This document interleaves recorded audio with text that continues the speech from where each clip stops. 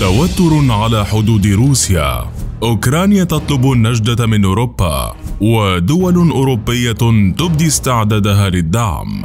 حدود برية طويلة وبيئة مناسبة لاندلاع حرب بين الطرفين قد تكون هي الحرب العالمية الثالثة.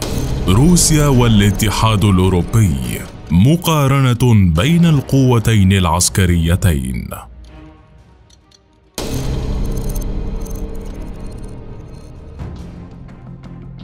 كما جرى كل عام أصدر موقع Global Firepower المختص بالشؤون العسكرية ترتيبه السنوي لأقوى الجيوش بالعالم والذي شهد تزعم الولايات المتحدة لقائمة الترتيب العالمي وهو الأمر الذي لم يتغير منذ عدة سنوات. ومن جهة الاتحاد الأوروبي فكانت فرنسا أبرز المتواجدين بالمراتب الأولى في الترتيب حيث حلت في المرتبة السابعة عالميا وفي المرتبة الأولى أوروبيا كما جاءت ألمانيا في المرتبة الخامسة عشر عالميا. يأتي ذلك الترتيب بعد خروج بريطانيا من الاتحاد الأوروبي. أما روسيا فلم يختلف الأمر عليها كثيرا مثل الولايات المتحدة حيث حلت في المرتبة الثانية عالميا لتحافظ بذلك على مكانتها ضمن أقوى الدول في العالم وإن لم تكن أقواهم في بعض النقاط. فيما يبقى الاتحاد الأوروبي يتحدث عن قوته المجتمعة في حال قامت الدول بالتجمع في جيش واحد لمواجهة أي خطر قد يحوم حول أي من الدول. والآن إليك مقارنة مفصلة بين الطرفين. القوة البشرية. من حيث تعداد السكان يتفوق الاتحاد الأوروبي على روسيا بفارق كبير، حيث يصل تعداد السكان في الاتحاد لأكثر من 450 مليون نسمة، فيما يبلغ تعداد سكان روسيا أكثر من 141 مليون نسمة. أما عن القوى العاملة المتاحة لدى الطرفين فيتفوق الاتحاد الأوروبي من جديد على موسكو حيث يملك الاتحاد أكثر من 107 ملايين فرد فيما تملك موسكو قرابة 69 مليون فرد. ومن ناحية الجنود الفعالين تتقارب الأرقام بين الطرفين حيث يملك الاتحاد الأوروبي 1.5 مليون جندي فعال فيما لدى روسيا أكثر من مليون جندي فعال. أما من ناحية جنود الاحتياط لدى الطرفين فتتفوق من جديد الدول الأوروبية بفارق كبير حيث يملك الأوروبيون 2.3 مليون جندي احتياط في حين تملك روسيا رقما قريبا منه نوعا ما. فيقدر عدد جنودها الاحتياط بمليوني جندي. وبالرغم من تقارب الأرقام في عدة نقاط من حيث القوة البشرية لكن يبقى التفوق الأكبر للاتحاد الأوروبي خصوصا في الجنود الفاعلين وعدد السكان الإجمالي. فيما يبقى لدى موسكو امتياز لا تملكه الكثير من الدول كما ذكرنا سابقا وهو القوات شبه العسكرية. والتي هي عبارة عن ميليشيات تدعمها الحكومة للقتال عنها في بعض الأوقات ويصل عددهم لما يقارب المليون جندي. أما عن ميزانية كل من الطرفين قدرت ميزانية الدول الأوروبية الدفاعية عام 2020 بأكثر من 270 مليار دولار أمريكي. أما روسيا فكانت ميزانيتها أقل من ذلك بكثير حيث قدرت بأكثر من 42 مليار دولار أمريكي لتكون ميزانية الطرفين من بين الأضخم والأكبر في العالم.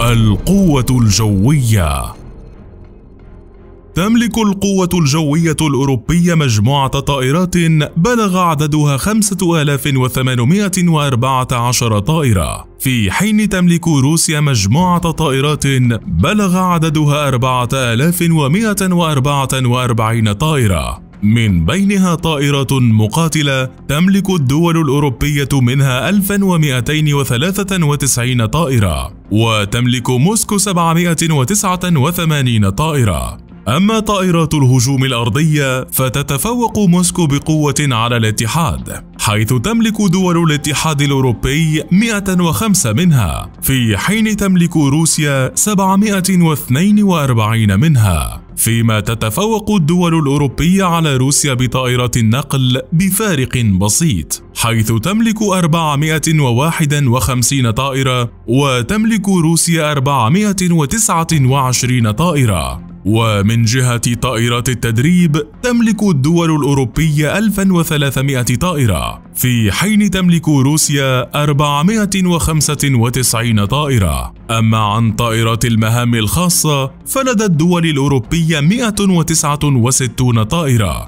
فيما تملك موسكو 130 طائرة. ومن ناحية طائرات الهليكوبتر فيتفوق الاتحاد الأوروبي من جديد بإجمالي هذا النوع من الطائرات حيث تملك الدول الأوروبية 2329 طائرة فيما لدى روسيا 1540 طائرة ويضاف لذلك طائرات الهليكوبتر الهجومية. حيث لدى دول الاتحاد 320 طائرة ولدى روسيا 538 طائرة. ومن خلال الأرقام يظهر تفوق الاتحاد الأوروبي في إجمالي الطائرات فيما تتفوق روسيا بأنواعها المتميزة والمصنعة محليا. وتأتي على رأسها الطائرات المقاتلة من طراز ميغ وسوخوي. فيما تعتبر أبرز الطائرات المتواجدة لدى الدول الأوروبية هي طائرات F-16 الأمريكية وطائرات رافال الفرنسية. القوة الأرضية نبدأ بالدبابات القتالية والتي تتفوق فيها موسكو بقوة على الدول الأوروبية فلدى دول الاتحاد 5081 دبابة وتملك روسيا 13000 ألف دبابة. ثانيا المركبات المدرعة. يملك منها الاتحاد الأوروبي 52035 قطعة. أما الجيش الروسي فلديه 27100 مدرعة. أما عن المدافع ذاتية الدفع فلدى الدول الأوروبية 2473 مدفعا ولدى روسيا 6540 مدفعا. ومن ناحية المدفعية الميدانية فبحوزة الاتحاد الأوروبي 2821 مدفعية. ويملك الجيش الروسي 4465 مدفعية. وأخيرا قواعد إطلاق الصواريخ. فلدى الدول الأوروبية 1061 منظومة بأنواع مختلفة. في حين تملك روسيا 3860 منظومة مختلفة ومن ناحية القوة النووية للطرفين فتملك الدول الأوروبية ما يقارب 300 رأس نووي. في حين تملك روسيا ما يقارب 7000 رأس نووي ويقال أن تلك الصواريخ لو أطلقت جميعها فهي قادرة على تدمير أوروبا بالكامل.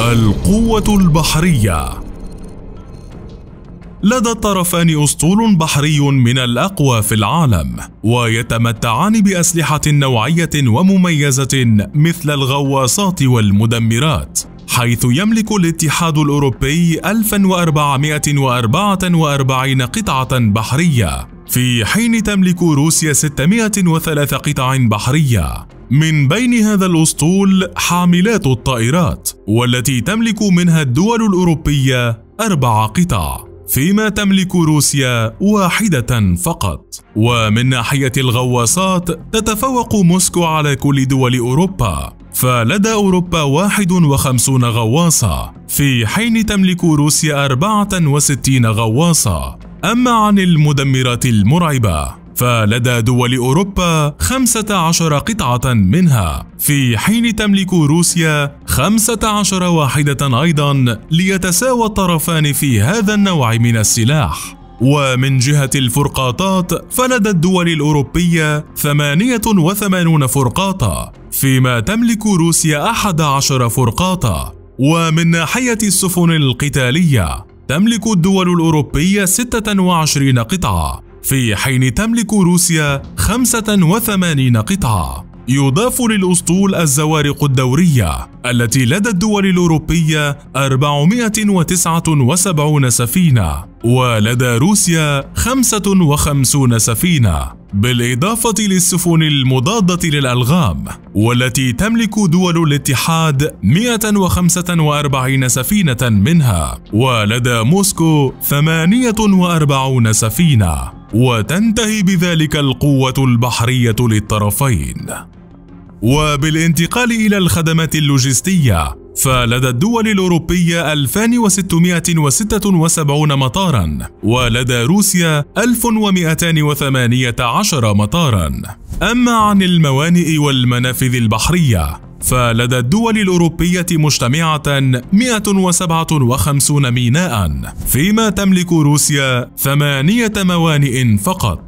تتفوق دول الاتحاد الأوروبي على موسكو في عدة نقاط. على رأسها القوة البشرية والقوة الجوية. كما أن قوتها البحرية تتراجع بمواجهة قوة أوروبا مجتمعة. يضاف لذلك أن لموسكو حدودا برية طويلة مع دول أوروبا ما يجعل تحالفهم بمواجهتها أمرا صعبا عليها. وقد يكون الانتصار لصالح دول أوروبا بشكل سريع. فيما يبقى لموسكو الخبرة الأكبر والتمرس على القتال في أراضيها خصوصا في ظل الطقس الصعب الذي تشهده وقد لا يمكن لأي جنود العالم تحمله كما حدث بالحرب العالمية الثانية بالإضافة لقوتها النووية الضاربة جدا. كما يلعب الدعم الأمريكي والبريطاني للدول الأوروبية دورا حاسما. ما يجعل روسيا أمام قوة بشرية هائلة في حال اندلاع الحرب